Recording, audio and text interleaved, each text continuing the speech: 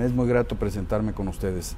Soy Camilo Caguache, al frente del equipo que prepara y edita la revista Cámara de este órgano legislativo.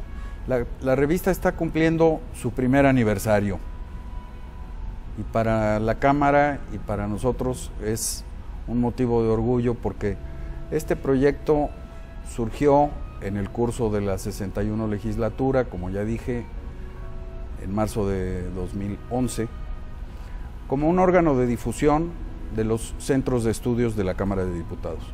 Realmente muy, muy pocas personas saben que la Cámara cuenta con cinco centros de estudios, el de Finanzas Públicas, el de Derecho a Investigaciones Parlamentarias, el de Estudios Sociales y de Opinión Pública, el de Desarrollo Rural Sustentable y Soberanía Alimentaria y el de Avance de las Mujeres y la Equidad de Género. Se consideró altamente oportuno presentar un órgano que compendie los trabajos y las investigaciones de esos cinco centros de estudios y los presente en una manera amena, grata y además con un alto contenido gráfico y editorial.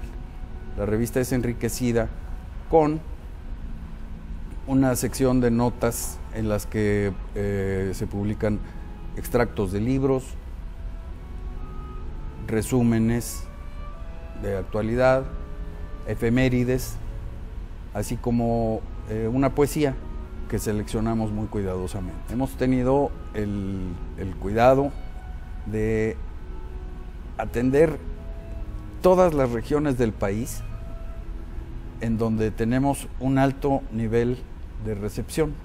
La revista ha sido muy bien acogida en las universidades, en los centros de enseñanza superior, públicos y privados de todo el país y a nosotros nos es muy honroso porque recibimos la retroalimentación por la correspondencia, especialmente de las casas de la cultura jurídica que la Suprema Corte de Justicia tiene en todo el país. Y se ha convertido Cámara pues, en, un, en un vehículo de información, pero, pero mm, más allá de contribuir a la imagen de la Cámara de Diputados, se ha convertido en una publicación que los lectores esperan. Quisiera eh, señalar que la revista tiene en este momento un tiraje de 8.000 ejemplares.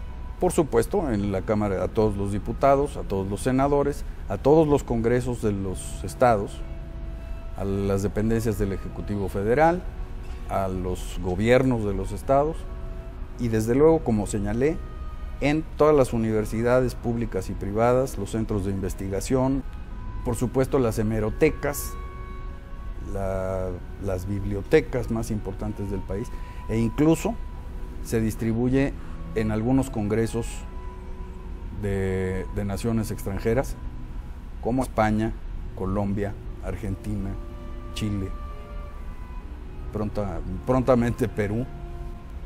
Eh, la rotación de las, eh, de las portadas y de los artículos principales corresponde eh, a cada uno de los centros de estudios por su orden.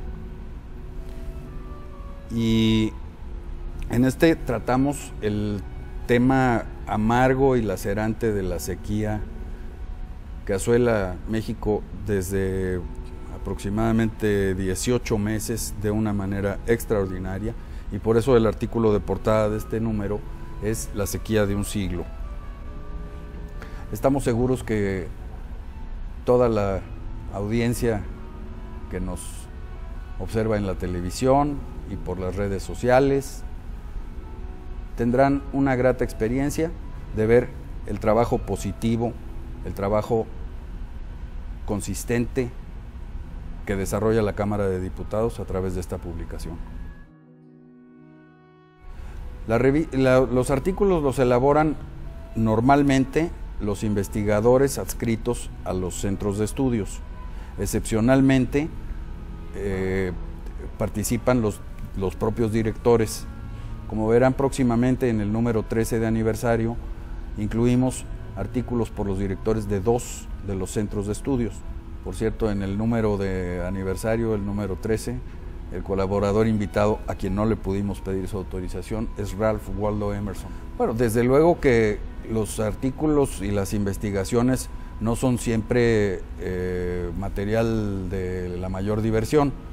Entonces lo que hace este equipo editorial es darles un giro para hacerlos más amenos, más entretenidos y desde luego no con un lenguaje técnico, sino más bien eh, procuramos un lenguaje eh, claro, rico, pero sobre todo que, que merezca, como creo que lo estamos logrando, ser del gusto y del interés del gran público, del muy selecto público que nos honra con su lectura.